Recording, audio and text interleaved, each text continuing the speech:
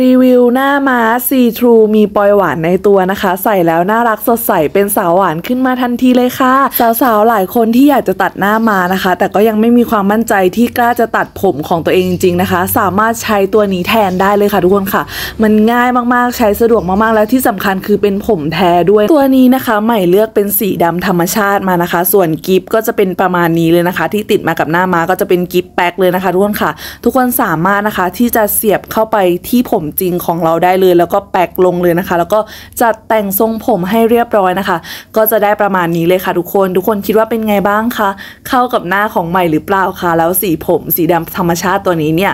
มันเข้ากับสีผมจริง ๆ ของใหม่หรือเปล่าทุกคนมีความเห็นว่ายังไงก็คอมเมนต์กันมาได้นะคะ หน้าม้าซีทรูตัวนี้นะคะ ยังสามารถใช้กับเครื่องหนีบไฟฟ้าได้ด้วยนะคะ ทุกคนค่ะ ทนความร้อนเพราะเป็นผมแท้นะคะ ทุกคนค่ะ แล้วแบบหนีบออกมาก็คือน่าจะสวยมากๆเลยแต่ว่าพอของมาถึงเนี่ยใหม่ก็เลยรีบแกะกล่อง แล้วก็คือรีบนำมารีวิวให้ทุกคนดูก่อนเลยนะคะสำหรับใครที่สนใจหน้าม้าซีทรูมีปอยหวานตัวนี้นะคะ ก็สามารถจิ้มที่ตะกร้าสีเหลืองด้านหน้าโปรไฟล์ตรงนี้ได้เลยนะ ไม่ต้องไปตัดผมจริงของตัวเองเป็นหน้ามาแล้วนะคะ ทุกคนค่ะใช้ตัวนี้ได้เลยนะคะ ทุกคนค่ะวันไหนเราอยากแบบเอออยากมีแบบหน้ามงหน้าม้าแบบมีปอยหวานแบบสาวหวานนะคะ ก็คือใช้ตัวนี้ได้เลยโดยที่เราไม่ต้องตัดผมแท้ของเราเองนะคะ ทุกคนค่ะ